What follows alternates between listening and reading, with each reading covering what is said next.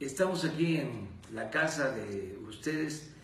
Eh, invité a José Antonio Omid a desayunar aquí en la casa, porque nobleza obliga.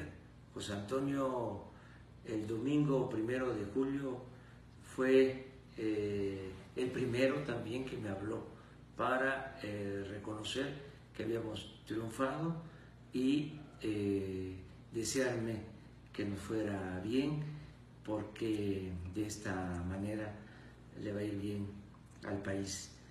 es una persona decente, buena, honorable, ese es mi punto de vista y eh, además tenemos los mexicanos que unirnos todos, eh, hay que reconciliarnos, hay